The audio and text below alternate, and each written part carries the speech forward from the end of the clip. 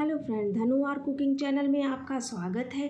आज हमारे किचन में बन रहा है लहसुन का मिक्स अचार। ये अचार फ्रेंड देखने में जितना अच्छा लग रहा है, खाने में उससे भी ज़्यादा टेस्टी है। इस अचार की खास बात ये है कि अचार बहुत जल्दी बन जाता है और सालों साल चलता है। ये अचार बहुत जल्दी ख़राब नहीं होता है।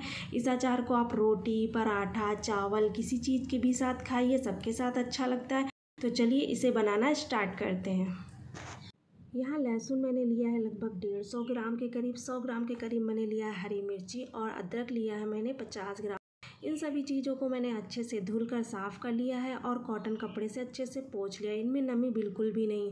अब यहाँ पे हम लेंगे फ्रेंड्स जार। जार में मैंने आधा लहसुन डाला है। इसका पेस्ट हमें बिल्कुल नहीं बनाना है, बस इसे दरदरा पीसना है। तो इसे आप चॉपर में चाहें तो चॉप कर लीजिए। अब यहाँ पे हम डालेंगे इसमें आधा मिर्ची। ये मिर्ची मैंने कड़वी वाली यूज़ की है। आप चाहें तो कम कड़वी वाली मिर्ची का भी यूज़ कर सकते हैं। तो चलिए अब इसमें डालते हैं हम आधा अदरक। अदरक को भी हम इसमें आधा डालेंगे। अब इन तीनों चीज़ों को मिक्स करके इसमें पानी बिल्कुल भी मत डालिएगा और इन्हें दरदरा हम पीस लेते हैं। यहाँ पे मैंने देख के इसे दरदरा पीस लिया है। यहाँ पे मुझे इसे इतना ही पीसना था, ना ही बहुत ज़्यादा मोटा और ना ही बहुत ज़्यादा पतला। अब इसे हम एक बाउल में ट्रांसफ़र कर लेंगे।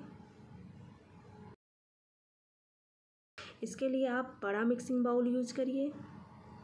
ये अचार बहुत जल्दी बन के तैयार हो जाता है और खाने में बहुत ज़्यादा टेस्टी लगता है। तो यहाँ पर देखिए, जैसा मुझे चाहिए, बिल्कुल वैसा ही बन के तैयार हुआ है। ये बहुत ज़्यादा ना मोटा है और ना ही बहुत ज़्यादा पतला। यहाँ पर लहसुन का जो ऊपर ब्राउन वाला पार्ट होता है, उसको हम कट कर लेंगे। ये खाने में बिल्कुल भी अच्छा नहीं लगता है और अचार को बहुत जल्दी ख़राब कर देता है। अगर अभी तक आपने मेरे चैनल को सब्सक्राइब नहीं किया है तो प्लीज़ सब्सक्राइब कर दीजिए, ताकि आने वाली वीडियो का नोटिफिकेशन आप तक पहुँच सके। यहाँ पे लहसुन को मैंने दो पार्ट में काट दिया है। अब हम लहसुन को इसमें मिक्स करेंगे। मिर्ची को यहाँ पे मैंने दो छोटे पार्ट में काट किया है। अब मिर्ची को भी इसमें मिक्स कर लेंगे। अदरक के छोटे छोटे टुकड़े कर लिए हैं। यहाँ पे मैंने डाला है लगभग एक स्पून के करीब कलौजी। सरसों दाना मैंने डाला है एक बड़ा चम्मच। चीनी मैंने यहाँ डाला है आधा चम्मच। चीनी अचार को प्रिजर्व करता है। यहाँ पे मैंने नमक डाला है एक चम्मच के करीब। काली मिर्च मैंने वन पिंच डाला है और यहाँ पे डाला है मैंने ढाई चम्मच के करीब सिरका। ये सफ़ेद सिरका है जिसे हम चाइनीज़ फ़ूड में डालते हैं। इस सिरके के कारण हमारा अचार बिल्कुल भी काला नहीं पड़ेगा और ये बहुत जल्दी ख़राब बिल्कुल भी नहीं होगा। ये चीज़ों को मिक्स करके एक दो घंटे के लिए हम छोड़ देंगे। लिया है मैंने एक पैन। आज इसमें डालेंगे लगभग दो चम्मच के करीब धनिया, एक चम्मच जीरा दो बड़े चम्मच सौंफ, आधा चम्मच के करीब मैंने डाला यहाँ मेथी दाना। अब इन सभी चीज़ों को हम अच्छे से भून लेंगे।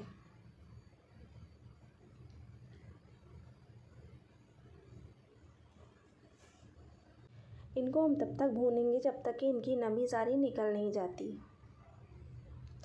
इन्हें धीरे चलाते हुए भूनिएगा, नहीं तो ये जल जाएँगे।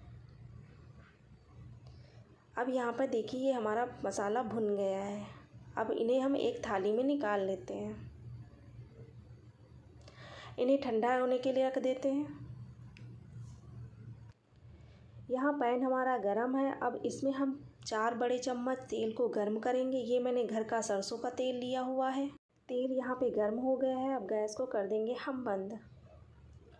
यहाँ पे मसाला हमारा हो गया है ठंडा। तो चलिए अब इन्हें एक मिक्सी जार में हम पीस लेते हैं।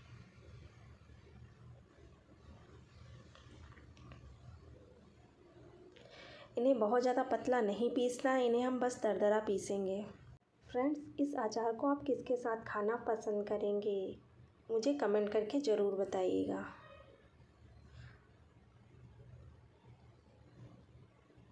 तो चलिए, यहाँ पे मसालों को मैंने पीस लिया है, ये मैंने दरदरा पीसा हुआ है। अब इन्हें एक हम बाउल में निकाल लेंगे। तेल हो गया है हमारा लगभग ठंडा। अब हम इसमें डालेंगे आधा चम्मच हींग, एक चम्मच हल्दी पाउडर,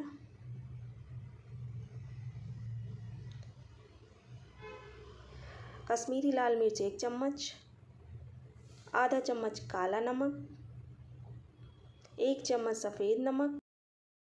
सभी चीज़ों को हम अच्छे से मिला लेंगे।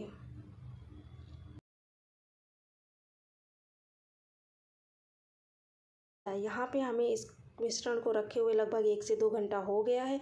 तो अब हम इसमें कूटे हुए मसालों को ऐड करेंगे और इसमें तेल वाला मसाला डाल देंगे। इन सभी चीज़ों को डालकर हम इसे अच्छे से मिक्स कर लेंगे।